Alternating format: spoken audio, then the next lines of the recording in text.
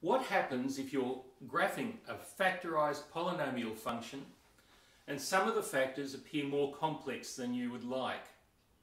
Well, the simple fact is that it's not fully factorized. Now that may not be a problem, but let's look at an, at an example.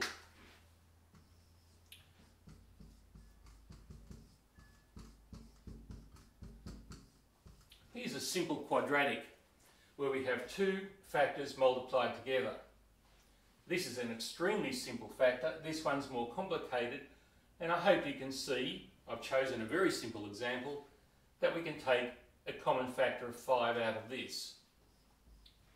Now, I hope you don't mind. Instead of putting it in front of this, this factor here, I'm going to take it right to the front. And we get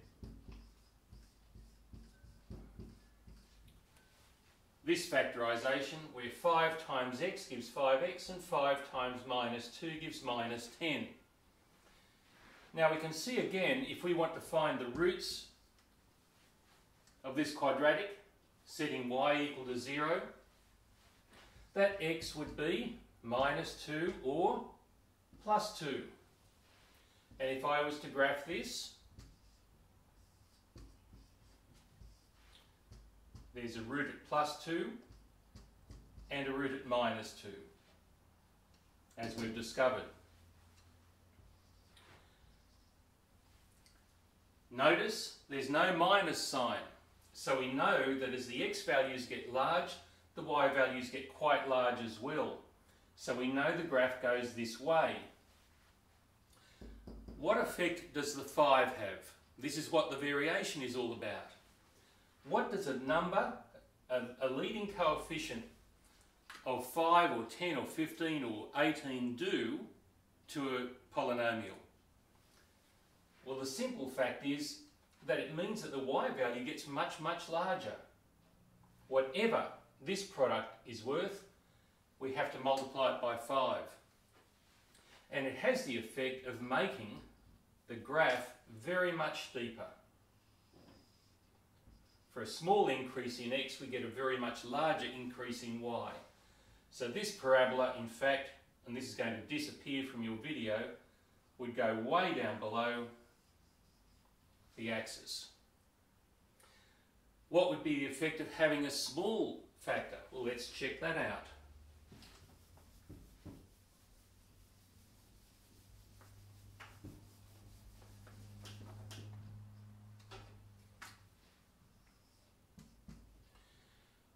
What if we had something like 1 half x minus 2 x plus 4?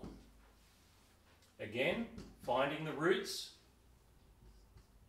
There'll be a root at x equals 2 and a root at negative 4.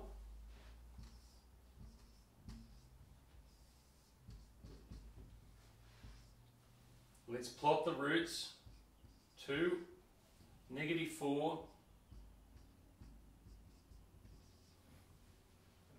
It's a positive value, so we know the graph is rising as x increases, but it's only a half. It means that whatever value this expression takes on, we halve it before we find the y value. And that has the effect of shrinking the y-axis. So instead of being a relatively steep parabola, it now is rather flattened. I don't think I did a good job of that. So leading coefficients are worth studying because they tell you the steepness of a graph. Let's apply it to a straight line.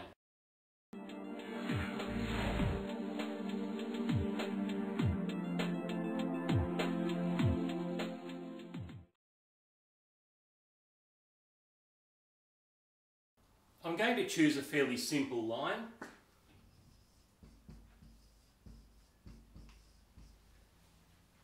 And we can consider this as a polynomial with one factor.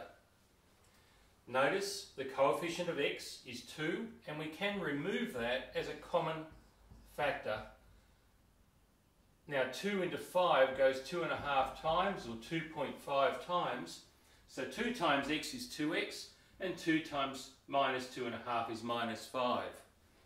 And this is the factorisation that we would like.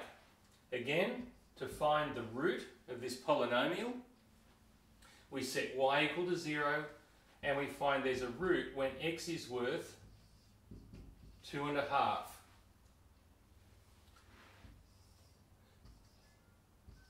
So as you can see, another consequence of having more complicated factors is sometimes the roots are not whole numbers. So we plot this root at two and a half. We know that it's a positive polynomial, which, or at least the leading coefficient is positive, which means that the polynomial will increase as x increases, and 2 means it's steeper. So instead of going out like this, it actually is, is, steeper. Now in the case of lines, it's very simple. It means for every value of x you go across, you go up two squares. And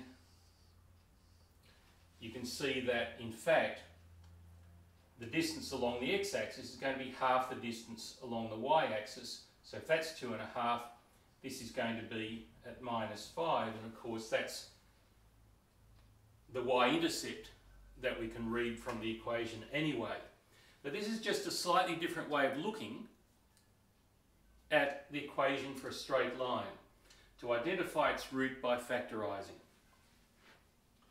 We're going to do one last example and that's a slightly more complicated one to put it all together and show that we can have a negative, large, leading coefficient with roots that are not all whole numbers. So let's have a look at that. Now let's graph just one more polynomial. We're going to draw one that has a simple factor, one that has a reversed factor, and one that has a slightly more complicated factor.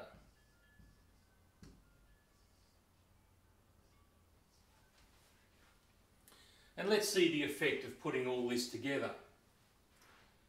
If we fully factorise this, the first term doesn't need any change, but the second term, the coefficient of x is minus 1, and we can take that out outside the parentheses so that minus x gives minus x and minus minus 5 gives plus 5. And here, the coefficient of x is 3, and we can take that outside the parentheses and factor, fully factorise this factor. 3 times x is 3x, and you'll excuse me if I use uh, fractions rather than decimals, but 3 times 2 and 2 thirds makes 8.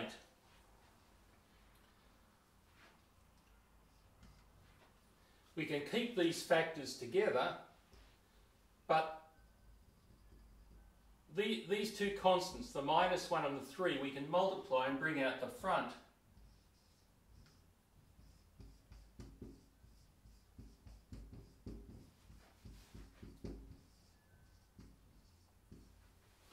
And straight away you can see the effect of having reversed terms and more complicated terms. That is, we sometimes get more complicated roots, and we do get a leading term. If we expanded this, we get x times x times x would give us the x cubed, and its coefficient would be minus 3. And there would be other terms. What is the effect of that minus 3? Well, I hope you know by now, but let's draw this graph. To find its roots, we set y equal to 0 we can then determine the three roots. There will be a root at plus 2, a root at plus 5, and a root at minus 2 and 2 thirds. We draw the axes.